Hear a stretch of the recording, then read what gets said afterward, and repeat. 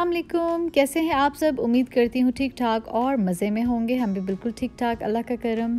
आज मैं आप लोगों के साथ कुछ रेफरेंस शेयर करने वाली हूँ कि मैं किस तरह लेफ़्ट ओवर फ़ूड को यूटिलाइज़ करती हूँ। तो अभी आपको पैन में नज़र आ रहा होगा पानी और पानी के अंदर है लजानिया स्ट्रिप्स ये कुछ पाँच छः स्ट्रिप्स थी जो रह गई थी और ये हैं टाको जो कि लास्ट टाइम जब हमने यूज़ किया तो कुछ रह गए थे। ज़ाहरी बात है पाँच छः टाकोस थे तो मैंने सोचा कि आज इसका ही कुछ मज़े का एपिटाइज़र बनाते हैं। और ये है जी सैलड्स ये है प्याज, टमाटर और लेटस लाइक आइसबर्ग लेटस इसको भी मैंने काट लिया जो कि अभी हम आगे यूज़ करेंगे। तो सबसे पहले तो आप लोगों ने ले लेना है एक बेकिंग पैन मैंने कुछ इस तरह का लिया।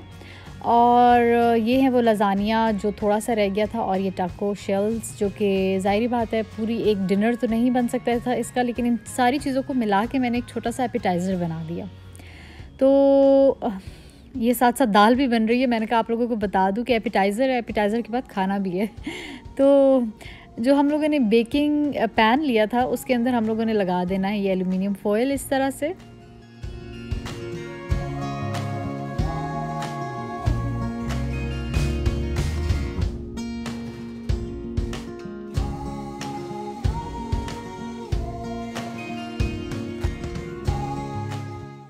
और ये है मेरा लेफ़्ट ओवर फ़ूड रात को मैंने बनाया था आलू कीमा, जो कि बच गया था। तो अगले दिन मैं उसको एज एपिटाइज़र यूज़ करने वाली हूँ ये लजानिया स्ट्रिप्स के अंदर, जो कि बॉयल हो चुकी थी। इसको मैं अब लेयर्स बना के उस बेकिंग पैन में डाल रही हूँ। सबसे पहले मैंने लजानिया स्ट्रिप डाली, उसके ऊपर कीमा, फिर प्याज, टमाटर और अब आप अपनी मर्ज़ी की चीज़ डालें। मैंने पहले मोजरेला और चेडर दोनों दोनों को मैंने डाला।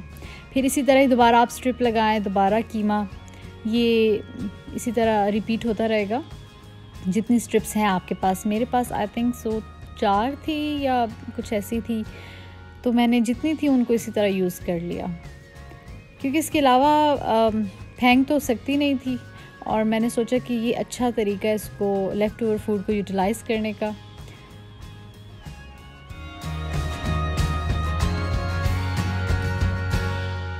आप लोगों को भी यही सजेस्ट करूँगी, जिस तरह अगर तीन चार लजाने के स्ट्रिप्स रह जाते हैं तो ज़ाहिर बात है पूरा एक तीन चार स्ट्रिप्स का अक्सर समझ नहीं आती कि क्या करें।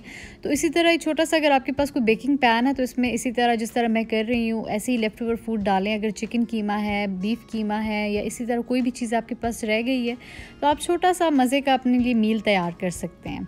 तो मैंने भी आज सोचा कि कुछ ऐसे ही करें शाम के लिए और रात के लिए भी मैं डिनर प्रिपेयर कर रही थी। ओवन को आप लोगों ने प्री हीट कर लेना है तकरीबन 350 डिग्रीज़ पे बेकिंग पे, कुछ इस तरह से।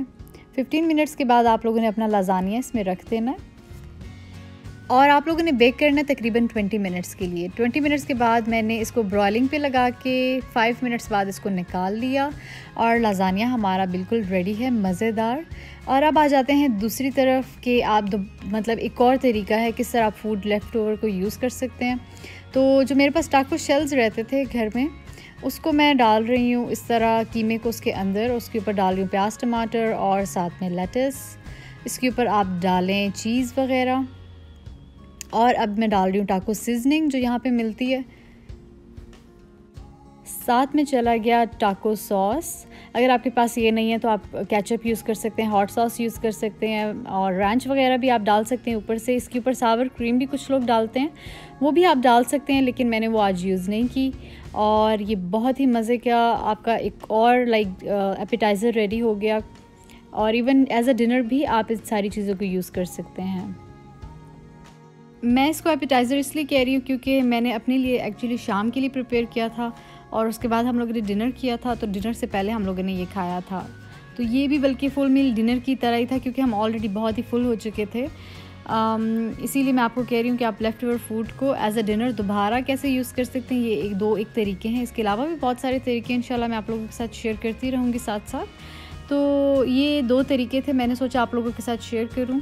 और इवन बच्चे बहुत ज़्यादा इन्जॉय करेंगे इस तरह के फ़ूड को, क्योंकि उन लोगों को तो बच्चों को डिफरेंट चीज़ें डिफरेंट लाइक जितना आप फैंसी करके फ़ूड उनको सर्व करें, बच्चे लाइक करते हैं। तो आप बच्चों को इस तरह सर्व करके दे सकते हैं फ़ूड को, और बड़े भी लाइक करते हैं। तो ये थी मेरी आज की छोटी सी एक और रेसिपी और उम्मीद करती हूँ आप लोगों को पसंद आएगी और आप लोग ट्राई करेंगे। मुझे दीजिए इजाज़त दुआ में याद रखिएगा। मिलेंगे नेक्स्ट टाइम एक और रेसिपी के साथ। तब तक अल्लाह हाफिज़।